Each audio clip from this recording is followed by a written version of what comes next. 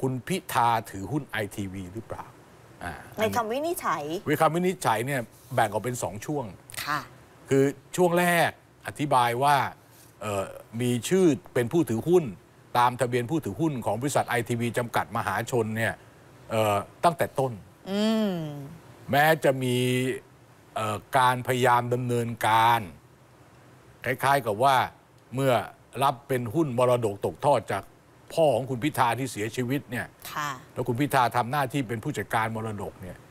เห็นว่ามีการเอ่อไปคล้ายๆกับว่าเอ่อเอ่อจัดสรรโอนหุ้นอะไรต่ออะไรพวกนั้นน่ะแต่ศาลรับฟังแล้วไม่ไม่ไม่ไม่ไม่เชื่ออืมนะซึ่งก็มองได้อย่างคือว่าคล้าย ๆ กับกรณีของคุณศักดิ์สยาม คือเมื่อตะเมื่อตั้งเป็นประเด็นก็ อันนี้ต้องไปอ่านเองนะ แต่ว่าค่ะประเด็นก็คือว่าเหมือนกับทำเอกสารย้อนหลังนะประมาณนั้นนะตั้งที่ผมฟังจับความได้ประมาณนั้น ก็ถัดมานะก็คือว่าสรุปรวมความว่าพฤติกรรม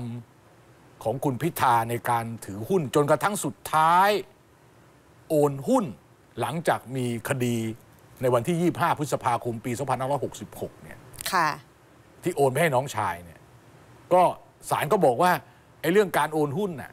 มันโอนได้อืมนะก่อนหน้านี้บอกว่าเออมันติดขัดอะไรก็ไม่รู้แต่จริงๆที่จริงโอนได้เอ่อใครที่อยู่ในตลาดหลักทรัพย์ก็รู้ว่าถ้าเกิด เป็นบริษัท ที่อยู่ในตลาดหลักทรัพย์จะง่ายด้วยซ้ำไป เพราะมันมีคนมีศูนย์รับฝากใบหุ้นค่ะอันนี้จะเป็นคนโอนทางทะเบียนได้นะแต่ถึงไม่อยู่ในตลาดหลักทรัพย์ ถึงไม่ไม่อยู่ในศูนย์รับฝาก ก็โอนได้ก็ต้องไปที่บริษัทอะให้นายทะเบียนของบริษัทเนี่ยเขาเป็นคนจัดการให้ แต่คุณพิธาไม่ได้ทำอย่างนั้นตั้งแต่ต้นค่ะเพราะฉะนั้นศาลก็เชื่อว่าเอ่อคงคง อาจจะเขาบอกเพราะเพราะไอทีวีไม่ได้มีกิจการอะไรขายหุ้นลำบากอะไรประมาณนั้นนะนะค่ะเพราะมันถูกดีลิสต์ออกจากตลาดหลักทรัพย์ แต่ว่ายังเป็นบริษัทที่หุ้นเขายังถือครองเอ่อเอ่อเอ่อทะเบียนหุ้นเนี่ยยังเป็นเอ่อบริษัทสุนทรฝาก ประเด็นก็คือว่าสรุปรวมความ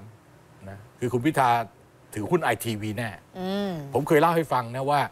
การวินิจฉัยของศาลเนี่ยจะเอาอะไรเป็นตัวตั้งต้นค่ะจะเอาการถือหุ้นไอทีวีของคุณพิธาเป็นตัวตั้งต้น หรือจะวินิจฉัยว่าบริษัทไอทีวีเป็นสื่อมวลชนหรือเปล่า ประเด็นคือการถือหุ้นหรือไม่ถือหุ้นค่ะถ้าเกิดว่าไม่ได้ถือหุ้นก็ไม่ต้องวินิจฉัยอ่าว่าไอทีวีเป็นสื่อหรือเปล่า แต่เราก็อยากรู้ค่ะว่าแนวของสารรัฐธรรมนูญเนี่ยจะวินิจฉัยว่าสารรัฐธรรมนูญเนี่ยเอ่อว่าว่าเป็นสื่อหรือเปล่า แม้แต่ว่าประเด็นนี้ยังมีประเด็นงอกขึ้นมานิดนึงว่า จะถือหุ้นกี่หุ้นก็ตามที ถือว่าถือหุ้นใช่เออ จะถือหุ้นกี่หุ้นก็ไม่สำคัญอะถือว่าถือหุ้น อันนี้ค่ะก็สำอันนี้ก็เป็นเป็นเป็นนั่น เพราะเขาอากิวในแง่ว่าจำนวนที่เขาถือเนี่ยมันไม่ได้ครอบงำกิจการไม่ได้มีผลค่ะแต่ผมก็บอกอย่างนี้ว่าเอ่อถึงแม้ว่าสารรัฐธรรมนูนเนี่ยจะตีกรอบแล้วก็หุ้นเดียวก็ไม่ได้เนี่ยนะ แต่ก็ไม่ได้หมายความว่าคุณไม่สามารถจะทำอะไรก่อนที่จะไปสมัครรับเลือกตั้งค่ะถ้าคุณถือหุ้นในบริษัทที่เป็นสื่อมวลชนอยู่ จะว่าจะทำกิจการไม่ทำกิจการเพื่อความปลอดภัยเนี่ยคุณก็ควรจะ